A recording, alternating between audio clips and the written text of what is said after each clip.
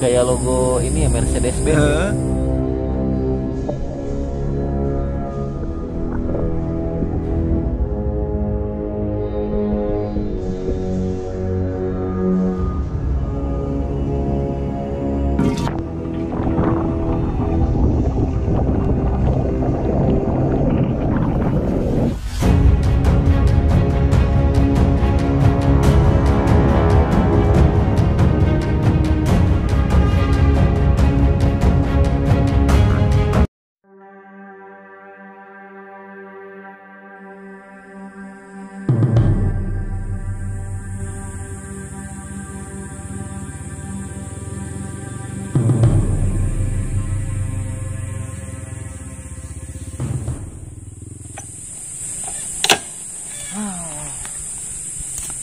Akhirnya sampai.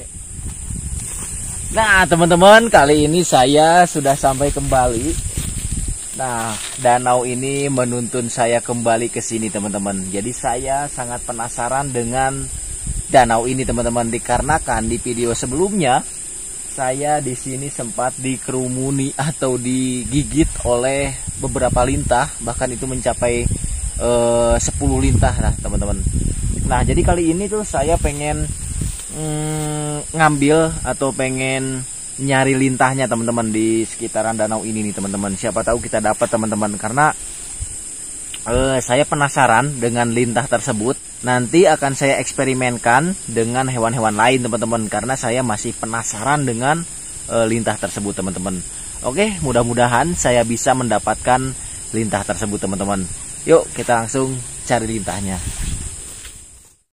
Nah, teman-teman, jadi ini adalah salah satu bukti eh, di video sebelumnya saya digigit oleh beberapa lintah, teman-teman. Cuma ini ada eh, bekas-bekasnya masih ada lah, teman-teman. Teman-teman bisa cek. Nah, seperti ini.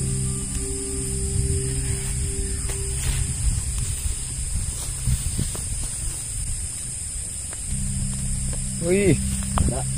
oh, Michigan dicipok. Oh. Ih, iya mah siga logo umbrella. Kayak logo ini ya Mercedes Benz. ya. Heeh. Tuh. Jadi itu sebetulnya pasenya tuh udah ada sekitar eh, 4 sampai 5 hari teman-teman. Dan ini darahnya tuh ngacor keluar itu sampai dua hari teman-teman.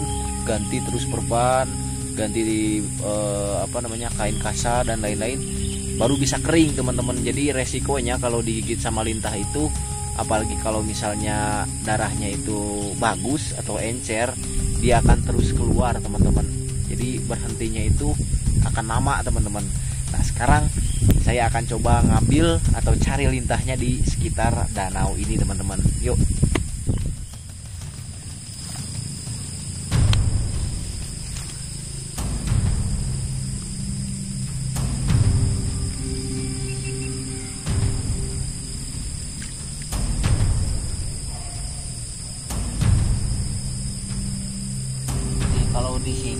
terlalu kelihatan teman-teman. Tapi kemarin ketika saya ngubek-ngubek area lumpurnya, mungkin mereka keluar terus gigit punggung saya teman-teman.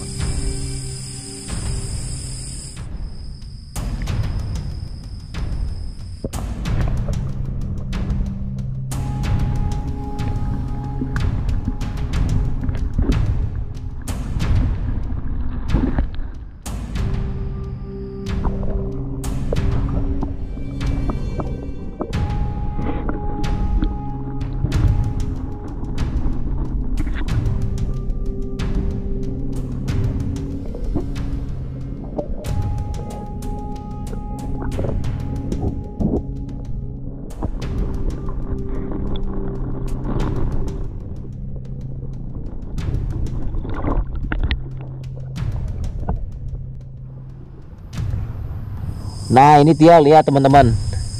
Tuh. Jadi ternyata dia itu harus ada pergerakan dulu nih. Harus ada pergerakan dulu dari airnya nih teman-teman. Nah tadi mungkin tergerak-gerak oleh kaki saya. Nah lihat. Eh ke mana ya? Dia nggak di ya?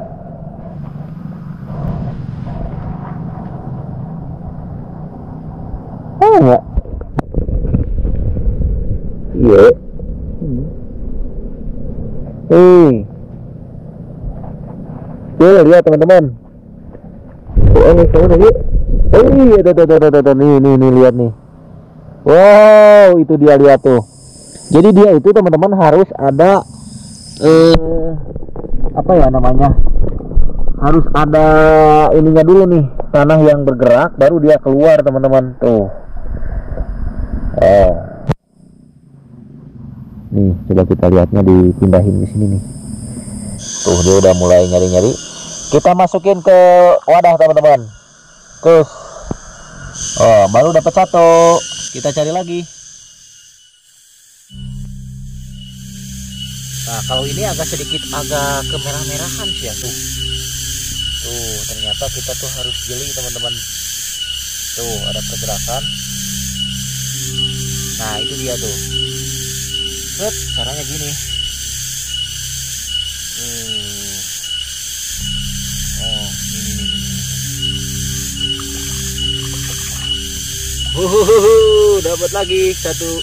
Kalau di lumpur memang dia tuh gak terlalu kelihatan teman-teman, tapi kita harus geli dengan gerakan-gerakan yang ada di lumpur tersebut. Tuh. Wow.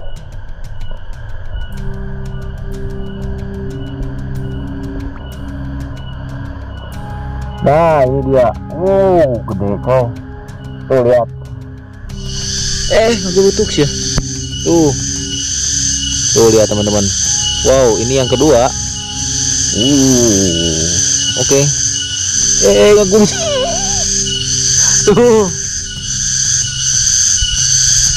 Tuh. Oke, kita masukkan lintah yang kedua. Kita cari lagi. Look.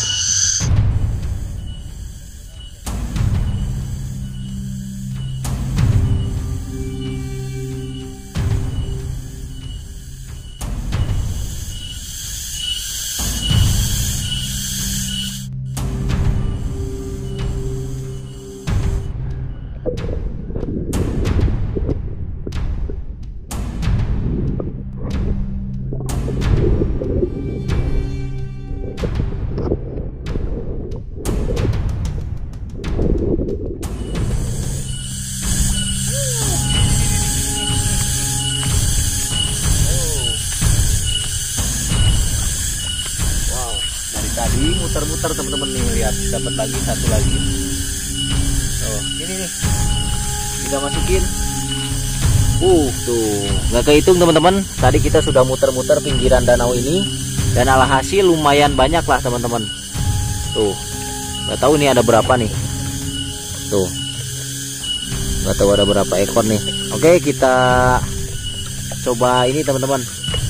Bawa dulu kita bersihin karena saya tuh lihat takutnya ada yang nempel nih di kaki saya kita sambil bersih bersih cukuplah segini juga oke yuk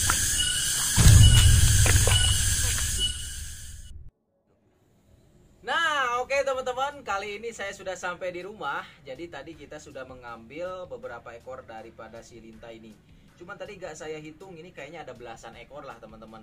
Nah, jadi ini adalah salah satu eksperimen yang di mana eksperimen ini adalah bertujuan untuk eh, mengobati rasa penasaran saya pribadi teman-teman.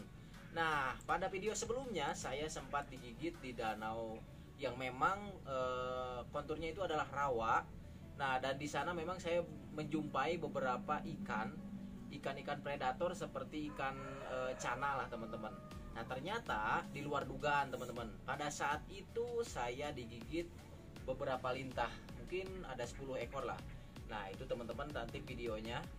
Jadi eh, video kali ini tuh saya ingin eh, melihat secara jelas ketika si belut ini hidup berada di rawa atau danau tersebut mereka itu memakan apa teman-teman jadi ikan-ikan predator itu eh, apakah memang benar-benar dimakan atau mungkin selain ikan predator ini si ini tuh memakan apa teman-teman? Nah jadi saya penasaran nih teman-teman. Saya sudah bawa eh, medianya nih. Ini adalah lelenya teman-teman. Lele lah bukan lelenya. Saya sudah bawa lele jadi nanti saya akan coba lihat bagaimana reaksi daripada eh, apa namanya si lintah ini. Karena ada yang eh, apa namanya memberitahukan seperti ini teman-teman lintah itu tidak akan mau menyedot kepada ikan yang mempunyai sisik teman-teman. Nah coba saya akan memang benar-benar buktikan. Kali ini kan e, tekstur daripada si ikan lele itu memang kulitnya itu berlendir kayak belut lah teman-teman. Nah apa yang akan terjadi? Oke jadi kita akan coba untuk eksperimen lintah versus lele teman-teman. Yuk sekarang kita tuangkan dulu air ke dalam akuariumnya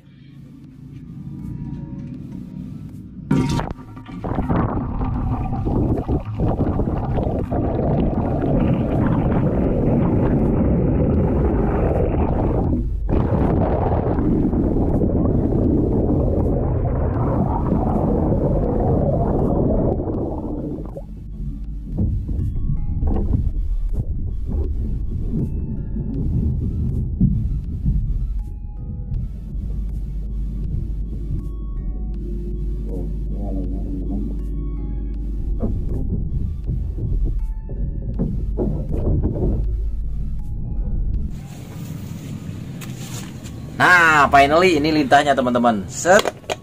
Tuh. Ini nggak tahu lintahnya ada berapa ekor teman-teman tuh lihat. Jadi ini lintahnya yang tadi kita ambil dari danau tuh. Wow. Oke, kita coba simpan di sini teman-teman.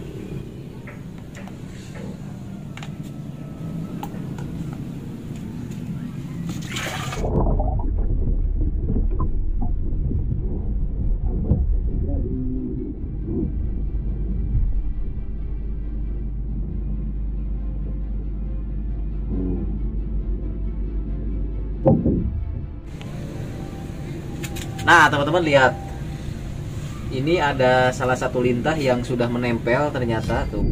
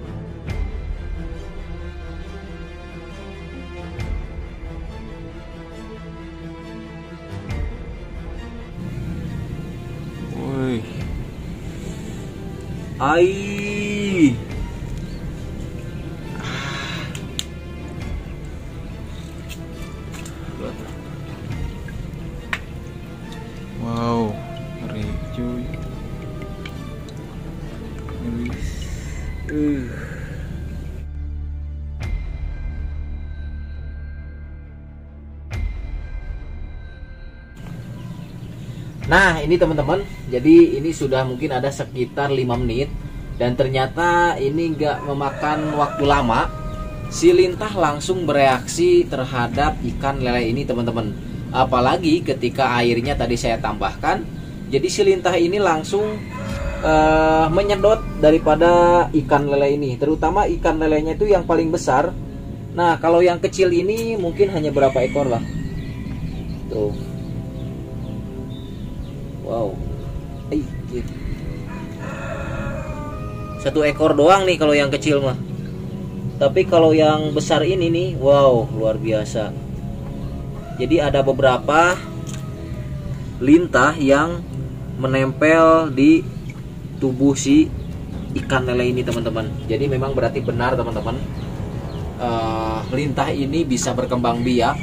Selain itu juga kan mereka hemaprodit ya teman-teman. Jadi mereka ini makanannya itu bisa memakan eh, atau bisa menyedot ikan-ikan yang seperti ini teman-teman. Berarti betul. Karena kan teksturnya kalau buat eh, kulit ikan lele itu mereka tidak memiliki sisi. Nah, justru itu adalah eh, hal yang memudahkan bagi si lintah untuk menyedot darah ikan lele tersebut teman-teman. Nah, bisa juga seperti katak, lalu hewan-hewan amfibi lainnya. Nah, itu juga bisa dimakan oleh si lintah ini, teman-teman. Bisa disedot maksudnya. Nah, berarti memang benar-benar ini sudah eh, terbukti, teman-teman. Gila banget. Eh. Wow. Oke teman-teman, kali ini saya akan membuka eh, lintah-lintah ini yang menempel di si ikan lelenya teman-teman karena ini hanya sebatas membuktikan rasa penasaran saya saja teman-teman.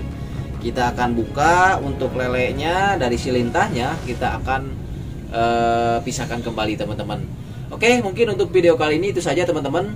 Jadi ini adalah video eksperimen sekali lagi ya teman-teman. Jadi ya video ini eh, bukan bermaksud untuk menyiksa hewan dan lain sebagainya ya teman-teman karena memang ya inilah ternyata salah satu bukti bahwa si lintah ini adalah salah satu penghisap darah ikan-ikan seperti ini ketika di alam teman-teman. Jangan lupa di like dan di subscribe channel Sahabat Alam. Nantikan video kami selanjutnya. Ih, tuh bekasnya nih segitiga kayak gini. Jadi si, si gigi lintah itu mulutnya itu kayak gini, kayak segitiga gini nih, cut cut cut nih. Wow. Itu lebih gampang sih tuh. Tuh.